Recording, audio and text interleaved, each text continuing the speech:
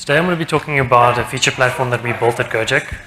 So this is a project that's been going on for quite a while. Um, we're actually planning to open source it soon.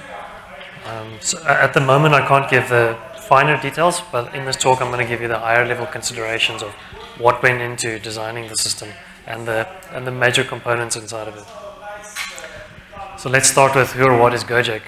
So Gojek is an Indonesian technology startup I'm not sure if many of you know about Gojek, but um, there's an example of our application on, on the screen.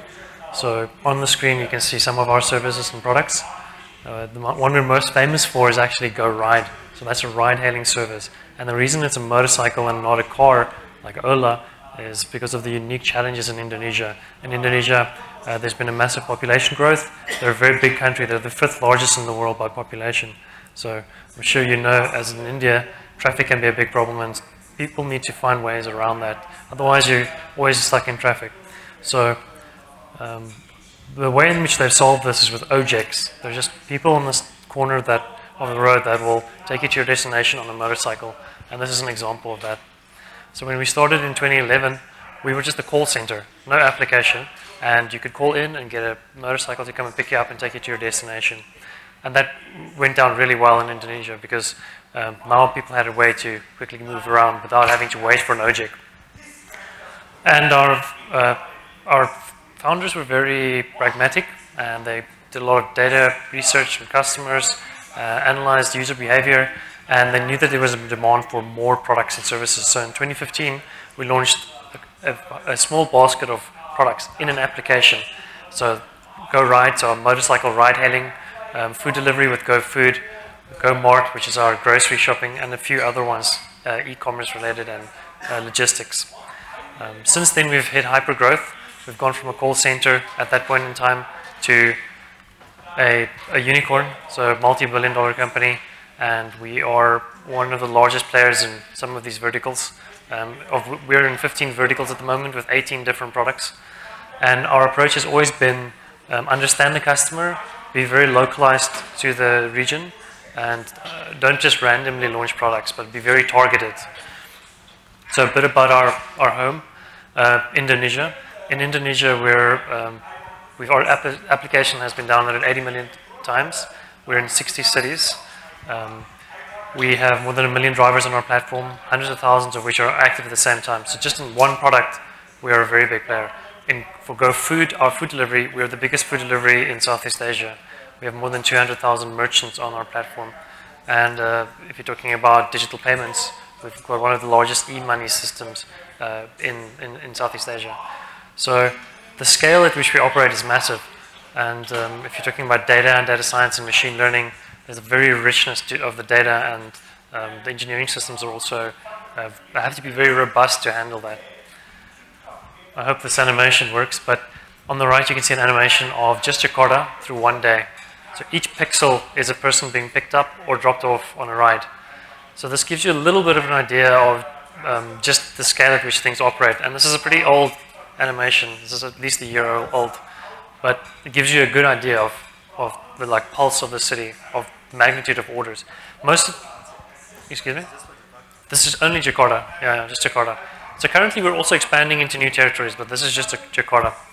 Um, so the scale is very big, and most of these transactions are processed with ML models. It's engineering systems, but they're affected by ML. But data science in Gojek is not just about machine learning, it's also about understanding the customers. The business looks to us to understand our customers and then uh, give them advice on what products to launch and what actions to take. So as a data science platform lead, it's my role to make sure the data scientists are very effective and efficient in what they're doing. So we looked at where the data scientists were spending their time, and this is what we found. So this is just a bar that represents a typical project workflow for data scientists. Um, so the colored bars represent tasks that they're doing that are data science related. It's in their domain of expertise. And the gray bars kind of represent tasks that we think they should not be doing, engineering related tasks. So when we looked at what they were doing, we figured out they were doing a lot of engineering related work. So this was a concern for us. And this was actually the precursor to understanding or knowing that we needed a feature platform because even though making features was one section in, of the task that we're doing, we realized that many of the other uh, tasks they were doing were in support of creating features. And especially when it came to building pipelines, that was one of the biggest time sinks for data scientists because uh, the, the feedback loop is so long and failure in, a, in creating a pipeline can be very costly. Um, so we wanted to decouple them from that and, and, free them up to be focusing on modeling more. Um, so why did we need a feature platform? But post that investigation, we realized there were two problems, the service creation and feature engineering. So we, the feature engineering was the one that we wanted to solve, and this is what the talk is about. But there were some specific problems. The first is pipeline jungles. So the data scientists were building all of these pipelines, and they were using hacky code. I'm sure you guys have seen it. Um, there's varying levels of the competency in a data science team. And what ended up happening is you have all these pipelines that are interdependent on each other in ways that you don't understand. And it's very difficult to visualize and get a clear picture of that. So we built systems that were not going to scale to multiple countries to, to global scale. So we needed to solve this in an engineering way. Um, inconsistency between training, between training and serving. So this is actually a big problem. So what happens is data a data scientist will build a pipeline to create features. Maybe he's using Python.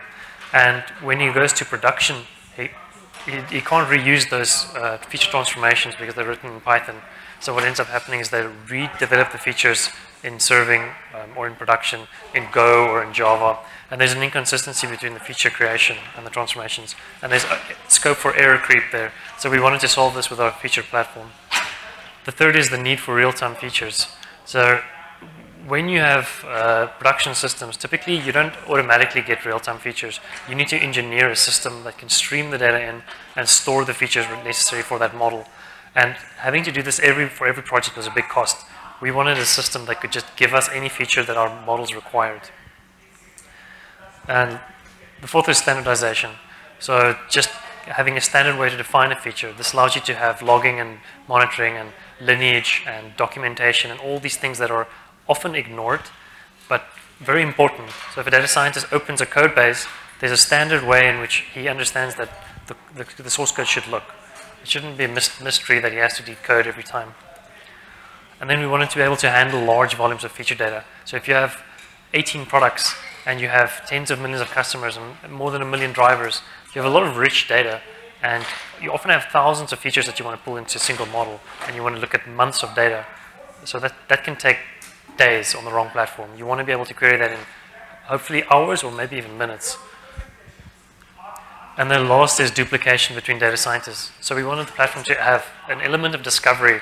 One person creates a feature, everybody can use it or improve on it. You don't want data scientists to um, work in silos where they create features that only live in their realm. And this is very important because some data scientists are a lot more productive in building features, and some features are very powerful cross-project. It's not just useful for that one project. So to distill these requirements down, um, there's some core, core things that we wanted from our platform abstract away the infra. We don't want data scientists working on engineering systems. Standardize the feature creation, like I said. We wanted the consistency between serving and training because it's a big room for bugs to enter production systems. We wanted the system to be scalable both in serving and training. So training store should have uh, historic time series feature data and the serving one should be able to scale to high QPS. Um, obviously real-time features in serving and discoverability. So to reason about this problem. Could you spend a moment on the inconsistency between uh, training and serving on the two views? I couldn't hear it Yeah, yeah. So um, you mean between serving and training? Yeah. Uh, well, typically what happens is that data scientists are kind of disconnected from the engineering and production systems. So they're fine building a pipeline that will maybe take Python, some like query database, get it to CSV, transform the CSV. I mean, this is the basic example. And now you've got features created. But how do you go to production with that? You can't just put those Python uh, transformations or code into production. Often it needs to be rewritten in a different language, like J Go or Java, or something that's more performant. So what ended up happening is you have the same features in two different languages, and often you're using different libraries and dependencies, and there's inconsistency in data types, and um, that's, there's room for error to creep in there. And we wanted to avoid that and move feature creation upstream so that uh, the feature that's created is in both training and serving, and it's identical. So there's a consistency. Yeah. So when talking about a feature platform, we needed to break it down into higher level components instead of just having this homogeneous platform thing that, that doesn't really, um, you can't really reason about.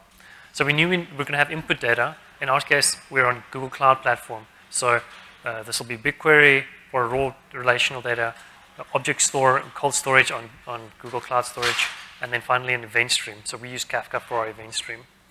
We knew we needed, we have two consumers, model services in production for serving uh, for the real-time features, and we have users that will be training their models. So data scientists training their models.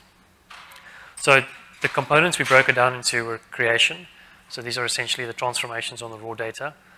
Um, so this is bounded and un unbounded data. It can be streams or flat files or tables. We needed a storage layer um, to store the data for both training and serving. Um, we needed an access layer. Uh, so this is a very important part that often is missed. You don't want the clients accessing databases directly. You want an abstraction layer there to handle the load. But we'll talk about that a bit later.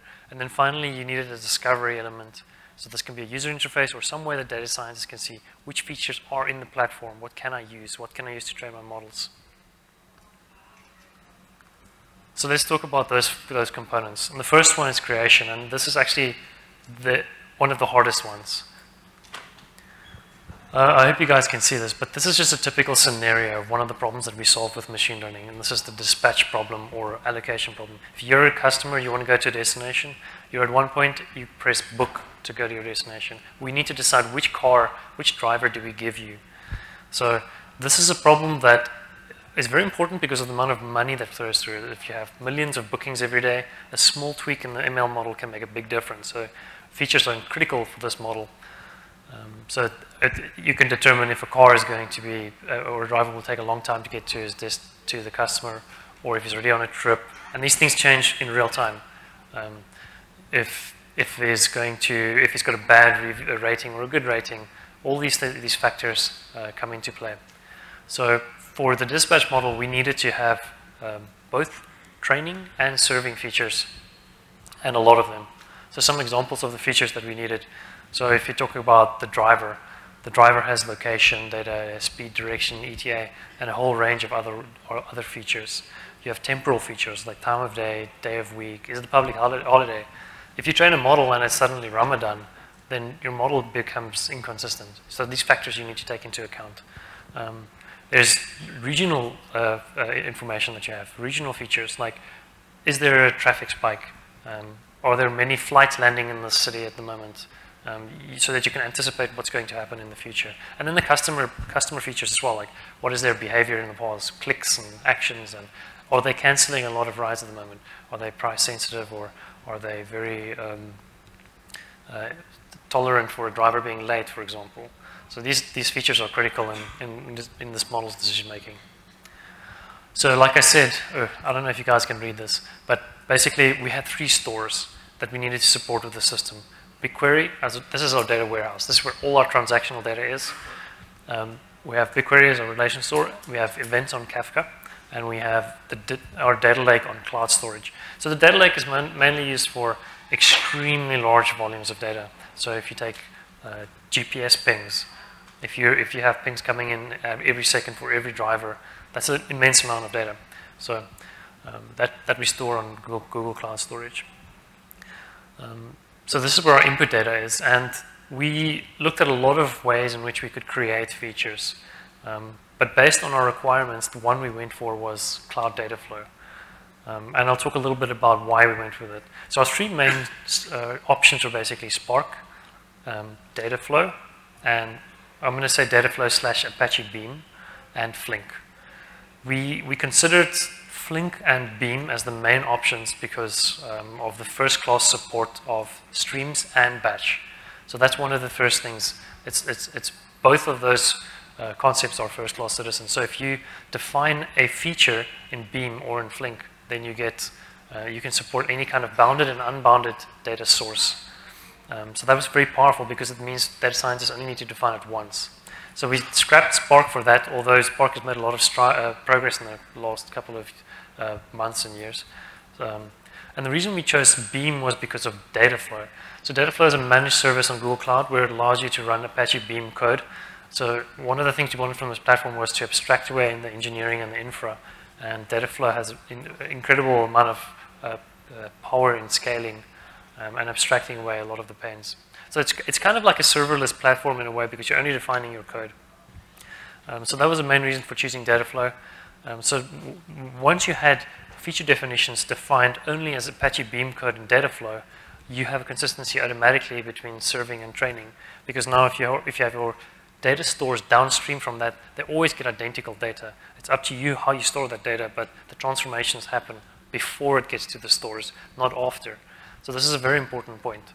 Um, and if you architect this correctly, you can replay the whole feature creation process from uh, captured events that you've captured on cold storage. So it's, it's deterministic and idempotent.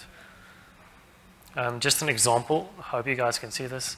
Um, this is what a feature definition looks like in Beam. So in Apache Beam, um, just to reiterate, Apache is the API, Apache Beam, and you run it on Dataflow. So Dataflow is the runner. Um, this is a Python example. I typically rewrite Java code for the feature transformations because uh, the feature set is larger. You can't do windowing in Python on Beam, but this is a good example of what a feature transformation looks like. You just have trip events coming in. You do subsequent, uh, basically, lambdas. Uh, in this case, you filter out the successful trips. Um, you, you build a data structure there, which is basically a, a, a key uh, value um, of the driver key and then the value one, and you do a group by by all the events for that driver over the day, and then you're left with the trip count for that driver. So this is just a simple example of a feature that is essentially taking a collection of e events, doing a transformation, and produces another collection. And these collections can be transformed over and over. So at a high level, this is what the creation process looked like for us. But what we did is we separated the creation and our core platform. So we don't want to limit ourselves to only having one way to create. Sometimes people want to create features offline on a CSV and just import it into our system. So we also added ingestion capabilities. We also have our own internal lambdas um, that we're building as well. Um, so we support multiple ways in which people can create features, but this is the primary way. So, so this is the first building block, and that's creation. Uh, the second one I'd like to talk about is storage. Uh, when we got to storage, we realized something else we're going to have all these components in our system, and they need to be able to talk one language between them. So if you're talking about a feature, what is a feature? Um, obviously, we know that that's an input to a model, but the system needs a way to understand what the bytes that are being streamed into it is and how to validate whether it's correct. So what we did is we, we talked about how do we define what, what these features are, and we broke it down into at least three specifications. So our system has um, these YAML specifications which I can't show the exact YAMLs now, but in a month or two we're planning to open source these. And basically you have base entities, both uh, uh, entities as in drivers, merchants, customers, and area and time, for example, and composite ones. So you can have one, say, driver area. So these are the, the entities uh, and the features on that entity for a driver in a specific area. Um, so those are specifications that we create and our system, it, once it's defined as a YAML spec, it's in our system. And then we create feature specifications, and this is the interesting part. So that's where you define what data structure the feature has. Uh, what is the distribution of the data in that feature? What granularity is the feature? Uh, where is the source code located? Who is the owner of the feature? So these YAMLs are very important for us because it gives you that source of truth, the master, it's like a master manifest on what is this feature. And one thing that's very important to know is that it's very difficult to trace the creation of a feature all the way from the source data. Um, so your system needs to be built in a defensive way, and this is the, the kind of way that we define it. But creation can happen from any source. So we, can, we can't necessarily trace it back to its origin, but we can at least say your distribution of data is correct, your data structures are correct, and you have an ownership, etc. Um, we also use protocol buffers or protobufs um, all throughout our system. So we, one, two reasons, for two reasons. There's a lot more, uh, uh, less data, there's less data usage, one, and we have many different languages in the system. We use Go, Java, and Python, depending on which layer you're talking about. So this allows some interoperability between these components in our system. We have a command line tool, we have a UI, we have ingestion, we have access layer, all these layers are not necessarily built on the same programming language. Um, so we store the data of the features also inside of our stores using protobufs, or we encode them. So from a storage standpoint, what do we need from our training store? The first thing we need is it has to be easy to use. The reason for this is because a feature training store will not necessarily have all the data that data scientist needs. They will maybe have labeled data that is external to the store. So they'll need access to the store either, through a, a UI that we've built or the database's own UI or a command line tool, and they'll need to join the data onto labeled data unless you have a way of importing the label data into the store. But in our case, that's not the case. So we knew it needed to be easy to use. Secondly, it needed to scale to very large amounts of feature data, something I already touched on earlier. Scalability is a big concern for us. And then we needed some types of queries and transformations. We need to be able to store historic feature data for months, and we needed to be able to join that feature data, and sometimes with fuzzy joins, onto label data. So imagine if, a, if you have a customer buying a dish, he buys it at one time, but you don't have a feature on that exact same time. Then typically a data science will say, well, if it's one a minute later, the feature data at that point in time is maybe good enough to train the model. Um, so you, you want sometimes some fuzzy joins on that. So the training store needs to support that. So the one we actually went for, um, to no big surprise, was BigQuery. So BigQuery was where we were already storing our labeled raw data. Um, so in our data warehouse, now if we have our featured data as well as our raw data, it's a lot easier for them to generate training sets. Um, so some of the benefits of BigQuery is there's no infrastructure to manage. It's completely hosted and managed. Data scientists understand it because it's SQL. It's easy to use. Um, it scales. It's integrated with GCP. It's integrated with TensorFlow and Cloud ML Engine and all the tools that they want to use. Um, it's what's cool about BigQuery and why it makes it so useful in this case is that features are typically columns in databases, and BigQuery is a column store. So queries are very efficient when you are selecting specific columns in BigQuery. And that's one of the key things that we also found that is, makes it very compelling. We looked at Presto and Hive and some of the other solutions, and a lot of them were compelling, and they actually had features that BigQuery did not have.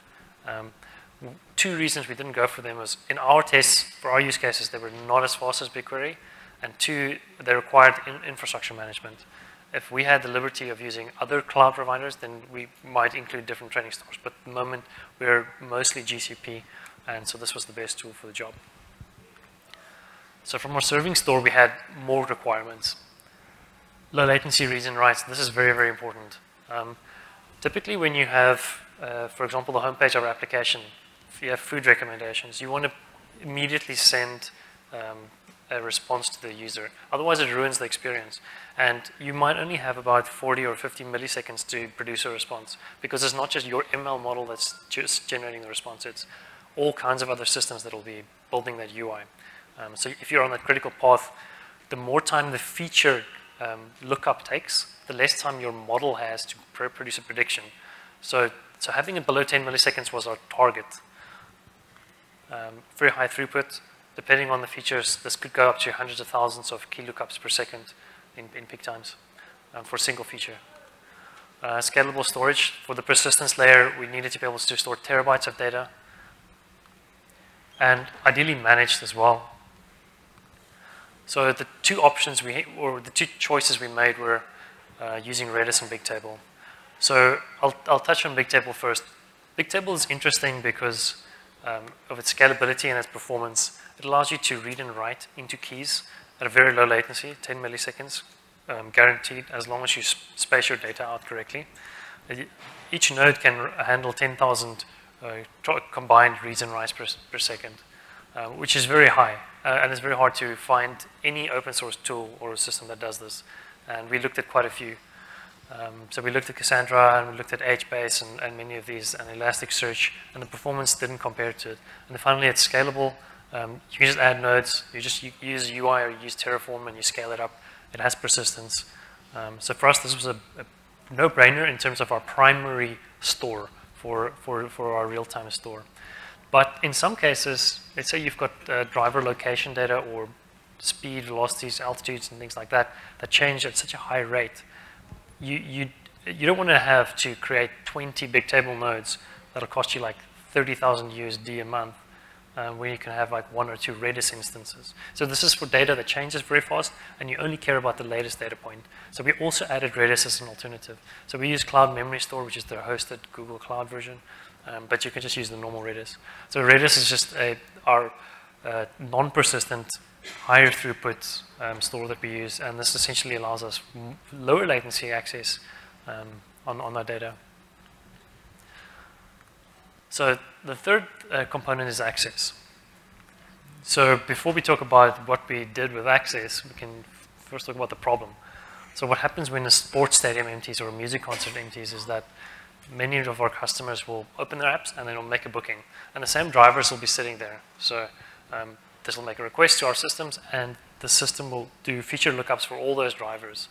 But there's a, a, big overlap, right? Because of all the customers in the same area and all the drivers in the same area, the same lookups will happen. So we knew the access layer needed to handle this kind of um, load balancing and caching and have all these features. So uh, just a quick example, if, if you if at our load we ran the math and at peak times we could have up to 150,000 uh, key lookups per second um, for a single feature if we didn't have an access layer. So that's completely impossible to, not impossible to handle, but it's a bad idea from an engineering standpoint to not have an access layer that can um, fix that problem for you. So we built a, a, a, serving API at the front. It has intelligent load balancing. So we have our own query structure. So when an external system calls our feature serving API, the, a specific query is sent. The feature serving API deconstructs that query, and then it first looks up um, it does things like user authentication and rate limiting, but then it looks up into a cache whether the, the, answers already exist. And then to talk about our feature specification earlier, that specification has a, a time to live. So it will tell the serving API, hey, this feature cannot can only be cached for 10 seconds. Don't cache it for five minutes. So that's that's how these systems interact with each other. Um, so the feature serving API does things like load balancing. It knows where all the data is stored, if you're sharding it, if there's replication factors, all these things. Um, and it obviously only interacts with our serving stores like Redis and Bigtable. Um, so that's what we did for, for, for the serving API. And then if, on, onto discovery. So the interesting thing is that if you have these three systems like creation, storage, and access, you actually have a lot of data about what features exist in the system, uh, the source code of those features, who the owners are, um, the statistics about the feature, like what how much events are being ingested for that feature, how many files have been ingested, how many rows and CSV records, how fresh or stale are the features. If a model is being trained, you know uh, the performance of that model um, even before it goes into production. You know which features were the best in training that model, which uh, you can in a relative way rank them.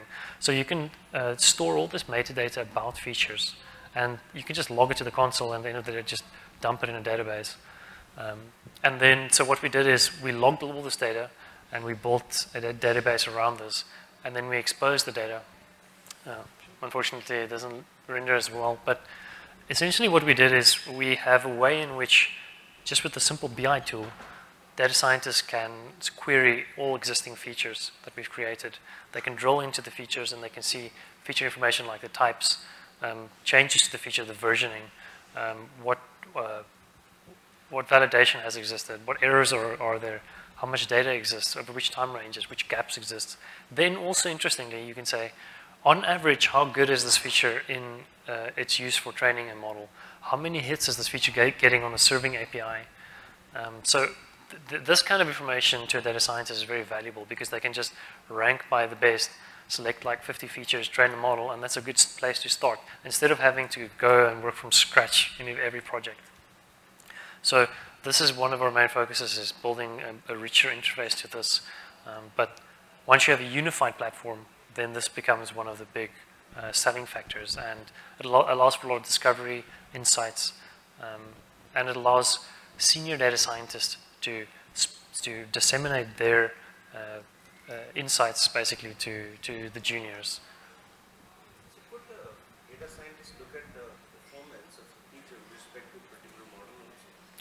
So we don't have the model in our UI. They could if they looked at the logs. So we do have an event log in which they can draw into and go and trace it back. Um, so this is one of the things we're developing still and hopefully to have it more enhanced. So impact. Um, so when we started, we said that the data scientists were spending a lot of time on engineering-related tasks. So building pipelines and setting up the infra. They spend a little bit of time on making features, but we wanted to uh, compress the time here a lot. So the two problems we wanted to solve was service generation, which we didn't cover in this talk, and then the pipelines and the ETLs for feature creation. So ultimately what we had built is a system that allows you to take features, uh, sorry, raw data in our stores. We have standardized the way in which uh, they create features with Dataflow as feature transformations. This allows for bounded and unbounded data, so they only have to define it once. We have serving and training stores with Redis and Big, uh, Bigtable, and then we have a training store with BigQuery. So BigQuery has all our historical feature data for, for months. Um, it also, and then in Redis we have uh, latest feature data that's not persistent, and in Bigtable we have um, also time series data that's available in, in, in, serving. We put a serving API there, so feature lookups come from our production systems. It's handled. So as a data scientist, all you need to do now is, one, go to this feature explorer, find your features, export it um, through BigQuery into a file, train a model, and then you can put it in production. You don't have to build any new systems um, in production. Uh, you don't need to build any features actually at the start.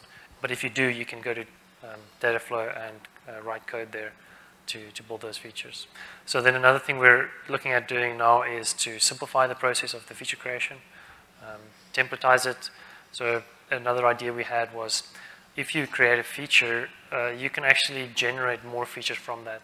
So let's say you create a booking count for a driver or a trip count, you can uh, the system can automatically do things like averages, mins, maxes. Uh, it can aggregate over time periods. Person doesn't have to define that manually.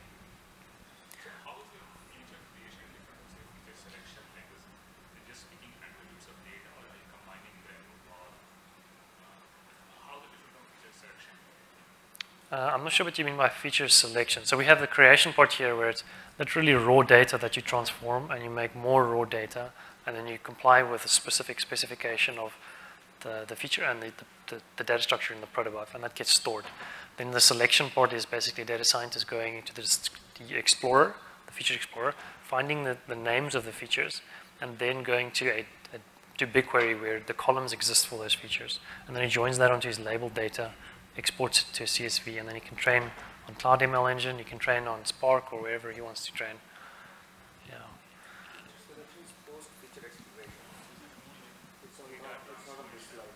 Yes.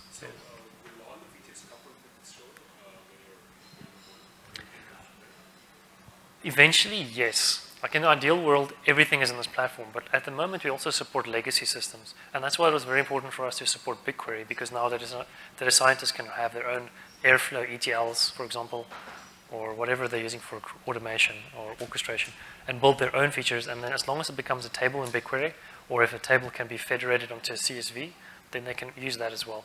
But that's not a long-term solution because you lose the discoverability and the, um, the, the, definition of what that feature uh, is. Uh, the reason I ask is, let's say if it multiply, how do you define which features you take from which is stored and which from outside?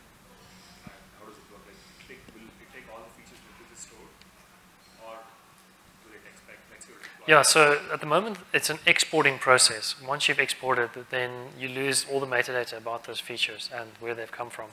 So there's, there's no way that we have at the moment that you can differentiate between um, side inputted features that you've created and features from the feature store, except if you're just exporting everything from those that data set in BigQuery where these features are stored. Yeah.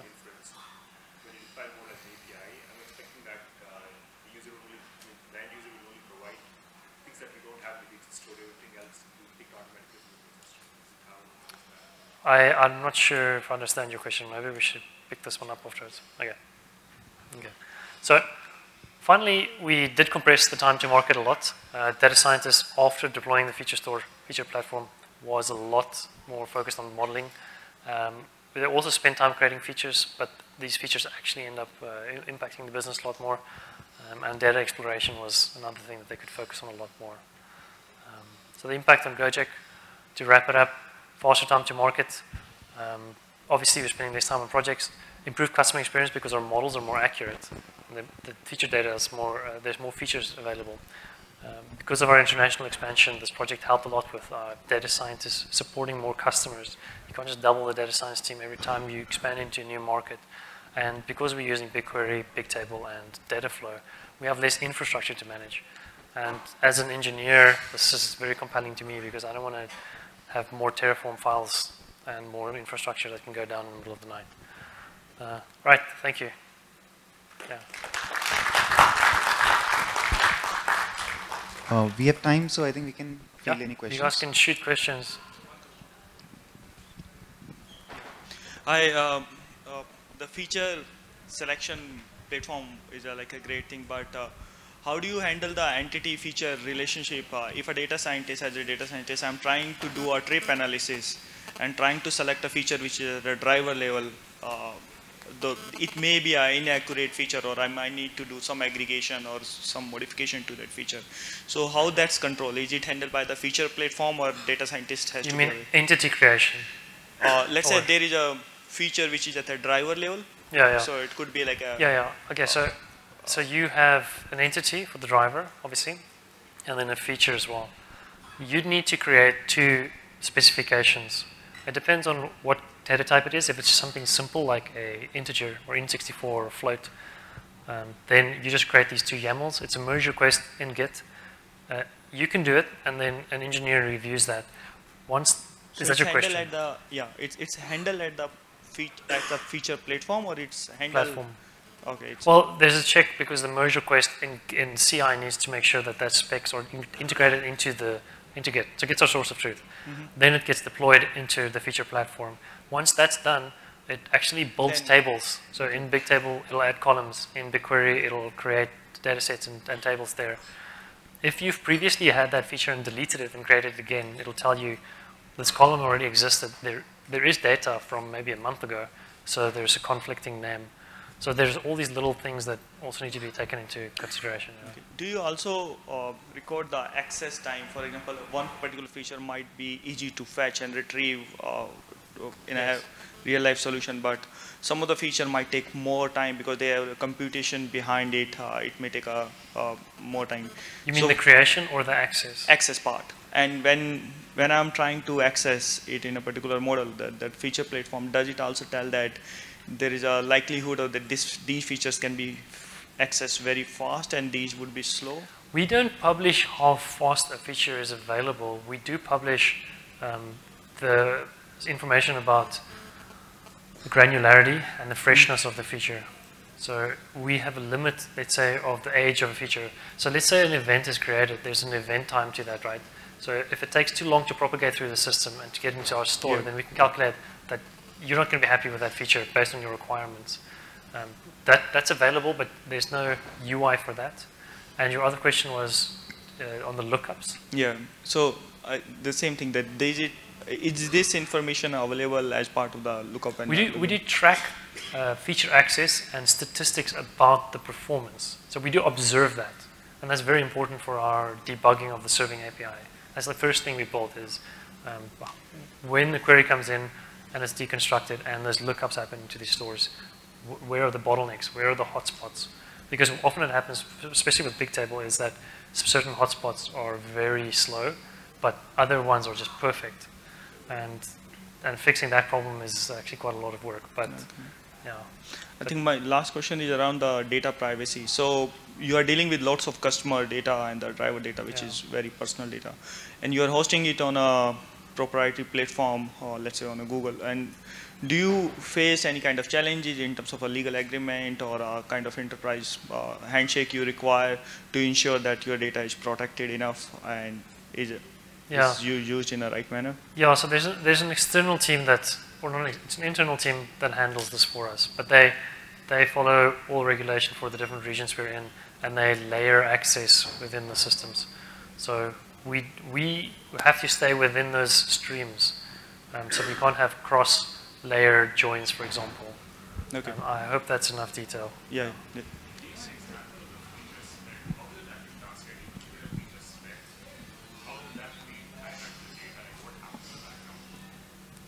Um, okay, so the specification is more like a high-level manifest. I can show you an example maybe afterwards on my laptop. Um, technically, I'm, I'm actually supposed to, we're going to open source it in the future, so this won't be a final version. But it's more like a YAML that's basically a manifest that um, says who's the owner, what data type is it, what's the class path of the protobuf that defines that data structure, what validation hooks need to exist at which points in the system to check the data. Um, like the just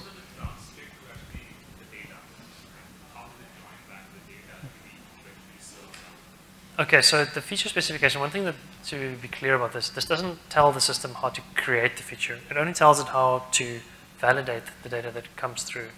Um, so all the different components of the system, like serving, will take that feature spec in and then alter itself. It'll build types and checks based on the specification. And then when uh, lookup is done, let's say from uh, Redis, it'll validate. If the specifications say validate lookup, um, there's a time to live, there's a cache, cache uh, a write or read time for a feature. All of this is defined on a specific per feature basis. Um, so in ingestion, it uses those specs. In lookup um, from serving, it uses those specs.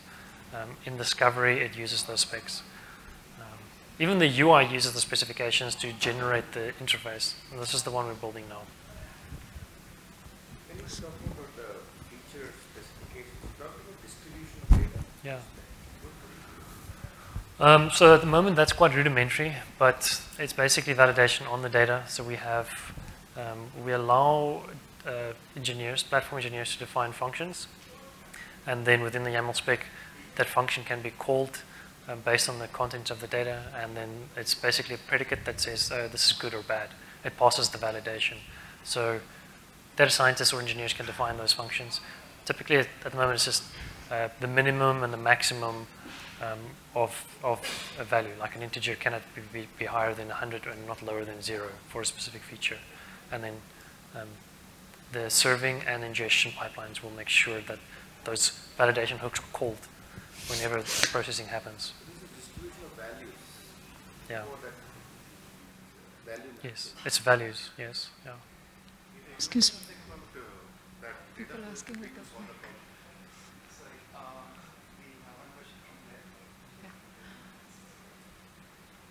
So you spoke about the area or the location specific features, right? So a lot of times the granularity at which you define it, let's say you're defining a origin destination level feature, the number of combinations can just explode and yes. you might have to put in some logic to prune it in some manner. Yes. So is that part owned by the feature platform or the data centers and how is that part managed? Yeah, so that's a good example of one of the most painful features is a composite entity between an origin and a destination.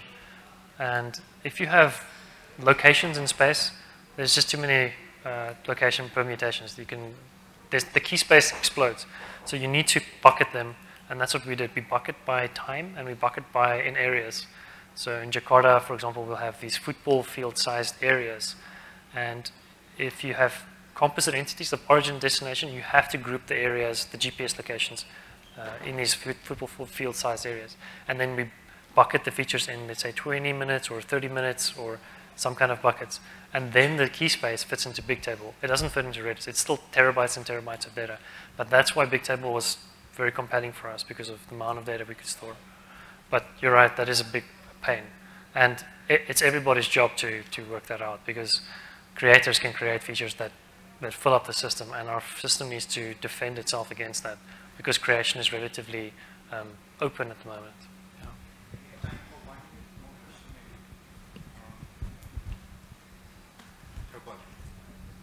Yeah. So you were mentioning something about Dataflow helping you in the, the manage the differences between the experimentation state and production state. Can you elaborate on that?